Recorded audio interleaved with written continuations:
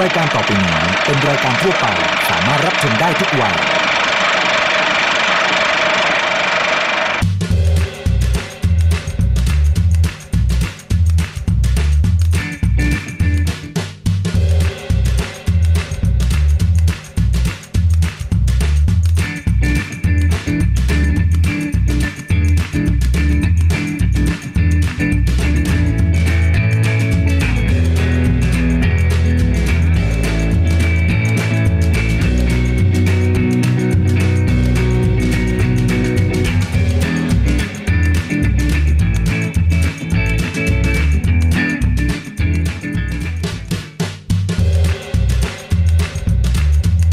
นับสนุนโดยผลิตภัณฑ์ผลไม้ฟรุตเบรและน้ำเชื่อมแต่งกลิ่นตราเนเจอร์เทสท่าเตียนนะครับถือเป็นอีกย่านหนึ่งนะฮะที่เต็มไปด้วยร้านคาเฟ่และร้านอาหารอร่อยๆ มากมายเลยแหละครับ วันนี้นะครับรายการอดเปรี้ยวกินหวาน ขอพาสายหวานทุกคนนะครับแวะมาชิมความอร่อยกันในย่านนี้ครับที่ร้าน Blue Well Cafe นะครับ สายหวานทุกคนครับ มาที่ร้าน Blue Well Cafe แล้วนะครับ มาที่นี่นะครับ เมนูแรกอันนี้โด่งดังมาก ๆ ชื่อว่าเมนู Open Toast Blueberry Caramel Coffee Mascarpone นะฮะ เรียกว่าชื่อยาวมาก ๆ สิ่งที่น่าสนใจจริง ๆ ของตัวเมนู Open Toast อันนี้นะฮะ ก็คือเมล็ดบัควีดครับ บัควีดนี่ปกติเนี่ยชาวญี่ปุ่นเขาเอาไปทำโซบะ แต่ว่าเนี่ยเขาเอามาโรยตรงนี้ก็คือกินได้เพราะมันอบสุกแล้ว และนี่นะครับก็คือเอสเปรสโซ่ซอสนะครับ ใครที่อยากได้แบบรสชาติความเป็นกาแฟที่เพิ่มขึ้น ก็สามารถเอาซอสราดได้เลย ขนมปังชาโคนะฮะอบกรอบเลย แต่ว่าข้างในยังมีความนุ่มอยู่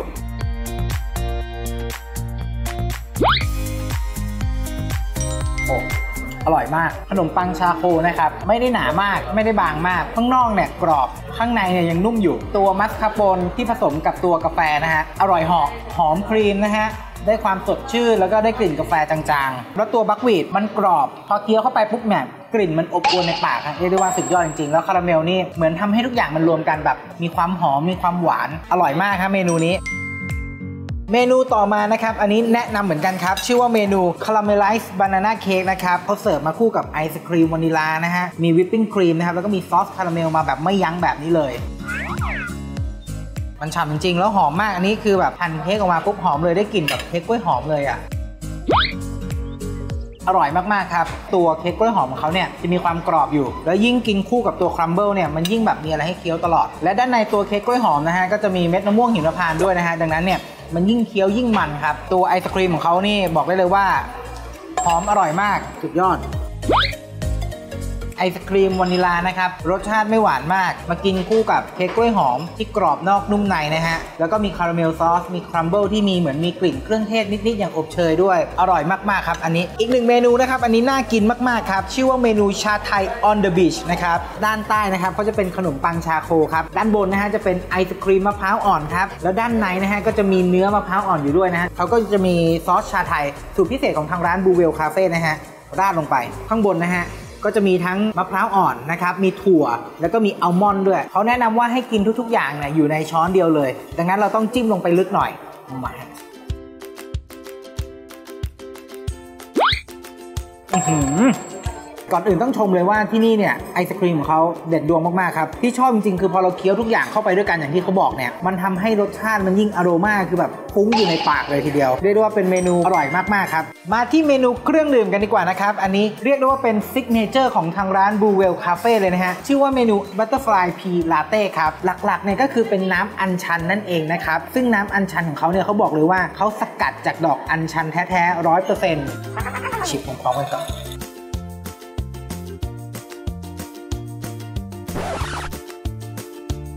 สดชื่นเลยครับ แล้วก็เวลาที่เราเอาหลอดดูดตรงนี้ปุ๊บเนี่ย เราจะได้กลิ่นจางๆของอบเชย ที่ร้าน Blue Well Cafe นะครับ ต้องบอกเลยว่าอร่อยจริงๆครับ ไม่ว่าจะเป็นขนมหวาน เค้กเอยไอศครีมเอยหรือแม้แต่เครื่องดื่มแบบนี้นะครับ สุดยอดครับ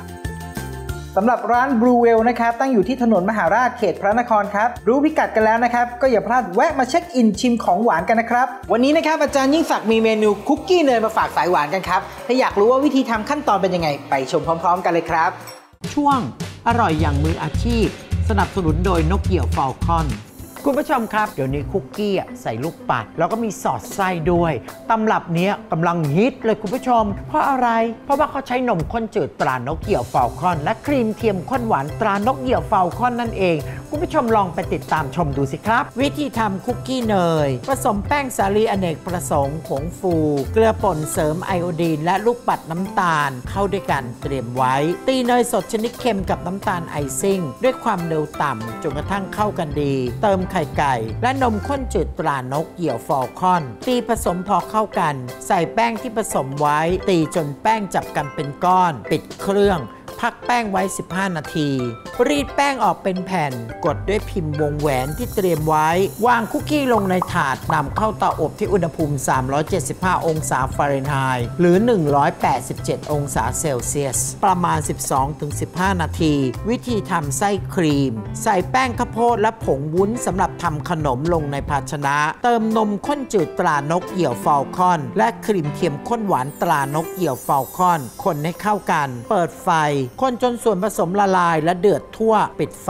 พักไว้ให้อุ่นเป็นคัสตาร์ด ตีเนยสดชนิดเค็มกับน้ำตาลไอซิ่ง ด้วยความเร็วปานกลางนาน 3 นาที เติมส่วนผสมที่เป็นคัสตาร์ดที่เราเตรียมไว้ ตีผสมให้เข้ากัน เตรียมไว้เป็นไส้ วิธีประกอบบีบไส้ครีมลงบนคุกกี้เนยที่เราเตรียมไว้ ประกบด้วยคุกกี้อีกชิ้น จัดลงภาชนะพร้อมเสิร์ฟคุณผู้ชมสามารถติดตามสูตรความอร่อย และความรู้มากมายได้ที่ w w w f falconforprofessional.com นะครับ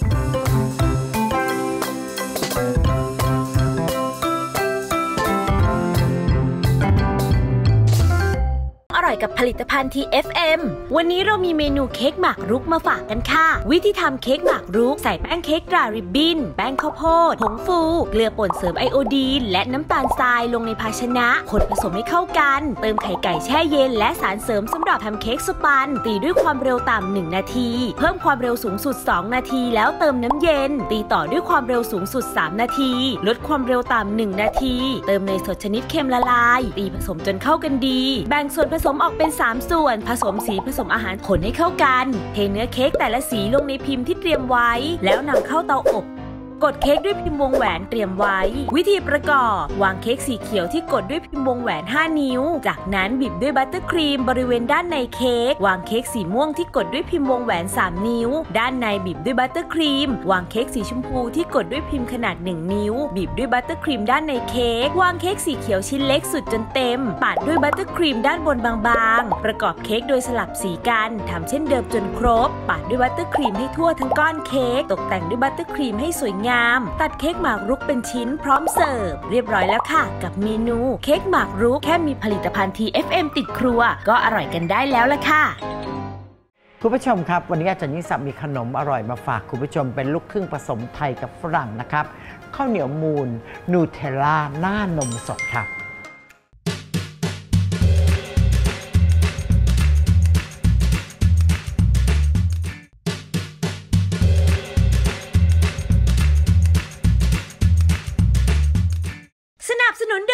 โบผงหมักไก่สไปซี่บิ๊กวิงคุณผู้ชมครับข้าวเหนียวมูลมีหลายตำรับนะครับ แต่วันนี้ข้าวเหนียวมูลของอาจารย์ยิ่งศักดิ์อร่อยอร่อยอาจารย์ยิ่งศักดิ์ใส่นูเทลล่าลงไปหละและหน้าของมันนะอร่อยมากเลยคุณผู้ชมเพราะเป็นหน้านมสดนะครับรับประทานคู่กันแล้วคุณผู้ชมจะติดใจมากเลยครับต้องรีบนิดหนึ่งเวลาทำข้าวเหนียวมูลตำรับนี้ เพราะว่าต้องใช้ข้าวเหนียวกำลังนึ่งมาใหม่ ๆ ร้อนๆแล้วก็ข้าวเหนียวดำ ที่คุณผู้ชมเห็นอยู่นี่ก็คือนูเทลล่า เพราะว่าหลายคนก็ชอบชอบนะ ความเป็นเอกลักษณ์ของเขา เกลือป่นเสริมไอโอดีนก็ใส่ไปน้อยหนึ่ง ครีมเทียมข้นหวานตรานกเกี่ยวฟาลคอน เพิ่มความหวานมันนิดหนึ่งอาทิตย์นี้สับไม่ได้ใส่เยอะนิดเดียวพอ แต่มันขาดไม่ได้นะ มันต้องใส่คุณผู้ชม แล้วก็ให้ข้าวเหนียวของเราชุ่มฉ่ำ ทุกเมล็ดข้าวเหนียวเลย อาจารย์ยิ่งศักดิ์ใส่นมข้นจืดตรานกเกี่ยวฟาลคอน ผลิตภัณฑ์คุณภาพจากผู้ผลิตเดียวกับโฟโมสเพราะว่าตอนนี้มันแห้งๆใช่ไหมเดี๋ยวพอมันเย็นจะมันจะยิ่งหนุบหนับ อาจารย์ก็ต้องใส่ตรงนี้ลงไปหน่อยหนึ่ง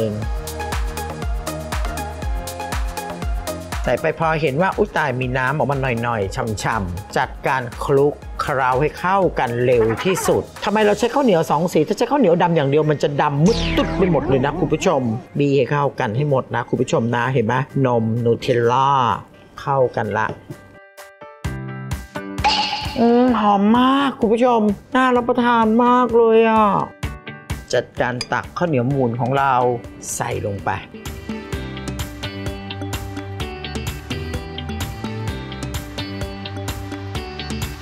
ส่เสร็จแล้วก็ค่อยๆใช้ช้อนเนี่ยแต่งให้สวย แต่จะไม่กดนะคุณผู้ชมจนกระทั่งแบนตะแต่ ลักษณะแค่นี้พอละวางไว้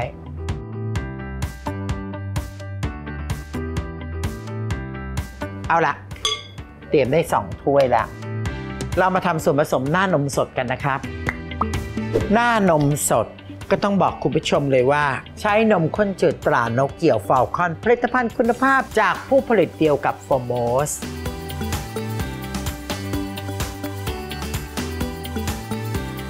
ครีมเทียมข้นหวานตรานกเหยี่ยวฟอลคอนสองอย่างนี้แหละคุณผู้ชม จากนั้นก็เปิดเตานะคุณผู้ชม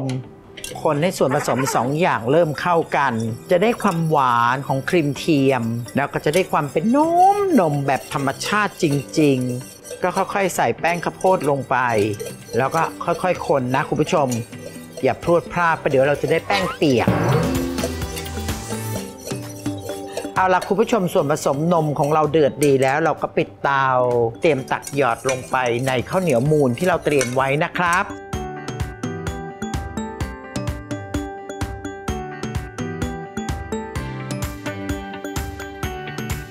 หมดพอดีเลย 3 ถ้วย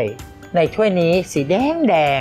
เป็นบัตเตอร์เค้กเรดเวลเวตนั่นเอง เมื่อเราอบสุกคุณผู้ชมครับ เราก็นำมาผ่านที่ขูดชีสจนกระทั่งป่น แล้วก็นำไปอบอีกครั้งหนึ่งให้แห้งๆกรอบๆเราเอาไว้ใช้ในการแต่งหน้าขนมนะคุณผู้ชม เราก็เอามาใส่ดูสิคุณผู้ชมดูน่าทานนะน่ารักนะคุณผู้ชมนะ เหมือนใส่ขนมขี้หนู หรือขนมทรายฝรั่งอะไรอย่างเงี้ยนี่เราไม่รู้นะ ติดใจเชิวแหละจะบอกให้นะคุณผู้ชมยกมาเสิร์ฟหลังอาหารเย็น อาจารย์ยิ่งศักดิ์ว่ามีความสุขมากนะครับ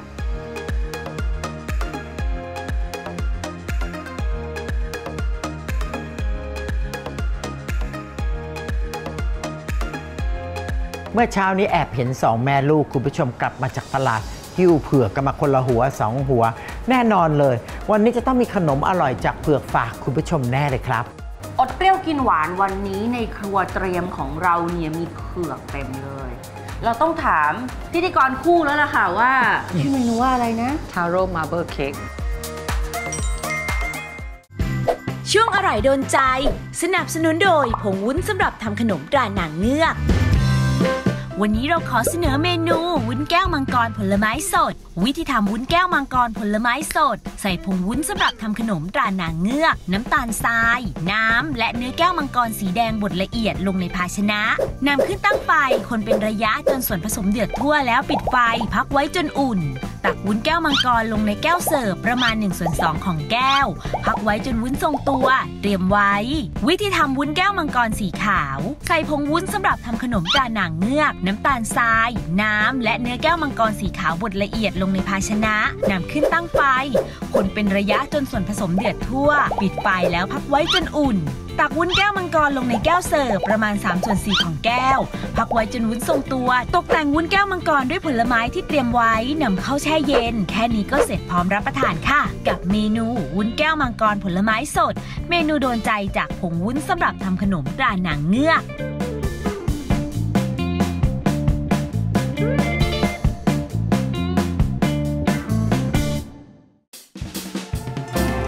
ช่วงอร่อยหลากสไตล์ สนับสนุนโดยผลิตภัณฑ์ตราเนเจอร์เทส วันนี้เราขอเสนอเมนู หวานเย็นน้ำกระเจี๊ยบ หอมหวานสดชื่นมากๆเลยแหละค่ะ วิธีทำเยลลี่น้ำกระเจี๊ยบ ใส่ผงวุ้นสำหรับทำขนม เจลาตินชนิดผง และน้ำลงในภาชนะ คนผสมให้เข้ากัน เปิดไฟแล้วคนให้เข้ากัน ต้มจนส่วนผสมเดือดแล้วปิดไฟ เติมกระเจี๊ยบ Fruit Break Preparation ตราเนเจอร์เทสช่วยทำให้มีกลิ่นหอมของกระเจี๊ยบ และรสชาติหวานอมเปรี้ยว คนผสมให้เข้ากัน เทส่วนผสมลงในพิมพ์รูปดอกไม้นำเข้าแช่เย็นเตรียมไว้ วิธีทำหวานเย็นน้ำกระเจี๊ยบ ใส่กระเจี๊ยบ Fruit Break Preparation ตราเนเจอร์เทส น้ำต้มสุกและน้ำแข็ง ลงในโถปั่นน้ำผลไม้ ปั่นจนส่วนผสมเนียนละเอียด ตักหวานเย็นน้ำกระเจี๊ยบลงในแก้วเสิร์ฟ ตกแต่งด้วยเยลลี่น้ำกระเจี๊ยบที่เตรียมไว้ วางช่อสะระแหน่ พร้อมรับประทานค่ะ แค่มีผลไม้ Fruit Break ตราเนเจอร์เทส ไม่ว่าจะรังสรรค์เมนูอะไร ก็อร่อยได้กลิ่นและรสชาติคุณภาพเยี่ยมทุกเมนู ผลไม้ฟรุตเบรกตราเนเจอร์เทส ยังมีให้เลือกหลากหลายกลิ่น สามารถสั่งซื้อออนไลน์ได้แล้ววันนี้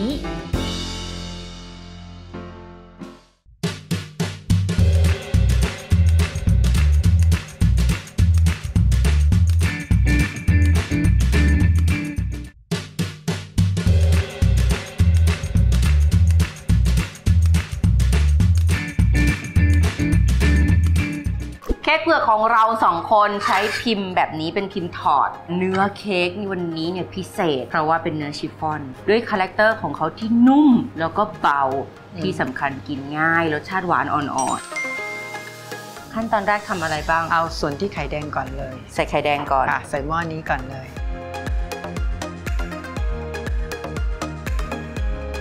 น้ำมันถั่วเหลืองตรามรกต จากนั้นใส่อัมพวาค่ะกะทิแท้ร้อยเปอร์เซ็นต์ลงไป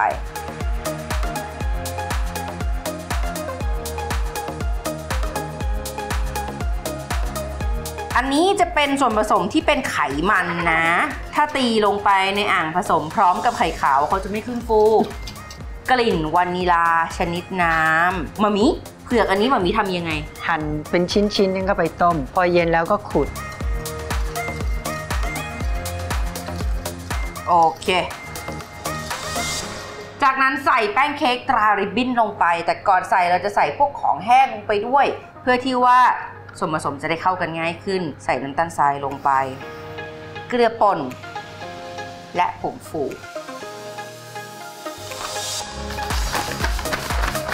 อะส่วนผสมเข้ากันแล้ว แล้วก็ไม่เกาะเป็นก้อนด้วย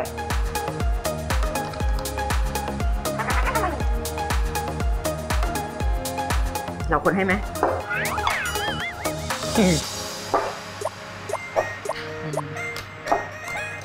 เข้าแล้วแบ่งเป็นสองส่วนเลย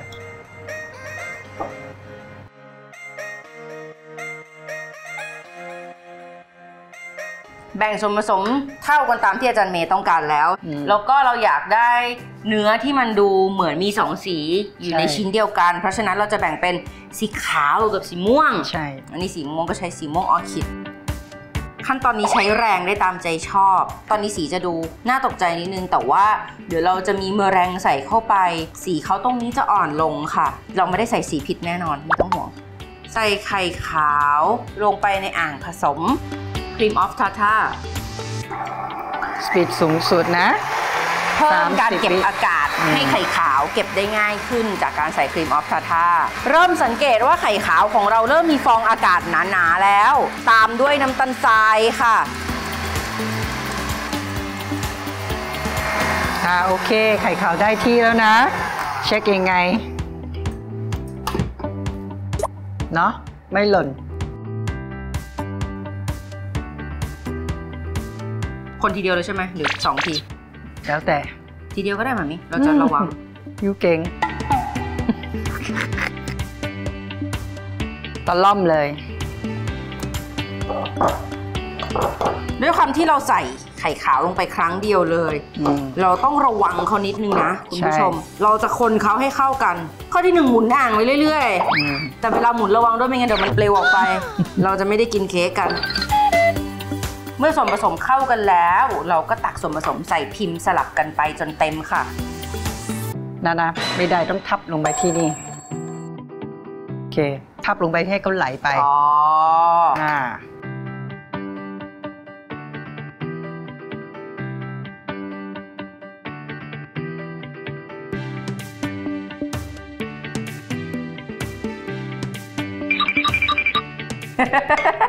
ตัวเหมืนมีเขย่าไปด้วยอะ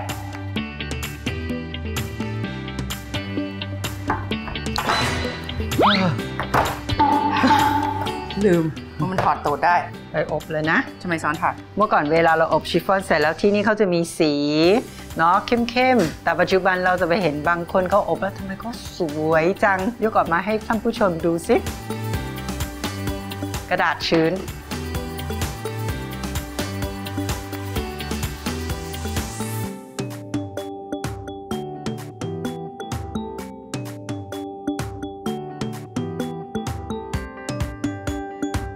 ได้เค้กอบสุกทิ้งไว้จนเย็นสนิท ในชามของเรามีไอซิ่งนะคะ เกลือป่นอีกหนึ่งเคล็ดลับของเรานะคะอัมพวากะทิแท้ร้อยเปอร์เซ็นต์ใส่นิดเดียวเอง เพราะว่าเราต้องการให้เขาเป็นตัวเกรสเคลือบเหนียวเหนียวอันนี้เป็นตัวอย่างของการใส่น้อยไปนะคะ เราจะเห็นว่าใส่ลงไปเสร็จแล้วเนี่ยยังไม่มีอะไรเกิดขึ้นเลยโอเค แล้วเดี๋ยวเราจะไม่มีตัวอย่างของการใส่มากไปนะคะคุณผู้ชมขอโทษด้วยจริงๆอุ้ยหอมมากเลยอะไอซิ่งกลิ่นกะทิ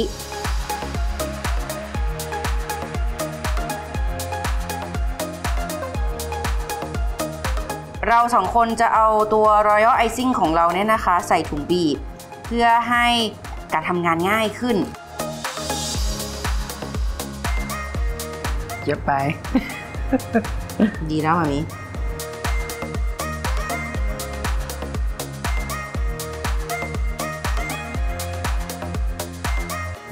โอเคอันนี้เราว่า beautiful นะค่ะเผือกต้มค่ะ จากนั้นเนี่ยนะคะ เอาพิมพ์รูปดาวมากดอืมมีหลายไซส์จังเลยดาวเหมือนใช่ อะไรแบบนี้แม่เราชอบมากเลยกุ้งจริงเนี่ยโอ้ใช่แม่เราจะมีความสุขมากทาโร่มาร์เบิลเค้กหรือใช่เค้กเผือกนั่นเองนะคะ สังเกตว่าเนื้อเค้กเนี่ย ถ้าเราบอกว่าเป็นชิฟฟ่อนแล้วเนี่ยนะคะอันนาใช้ซ่อมกดสุดแรง สิ่งที่ได้กลับมาคือวิสปริงจากนั้นรสชาติ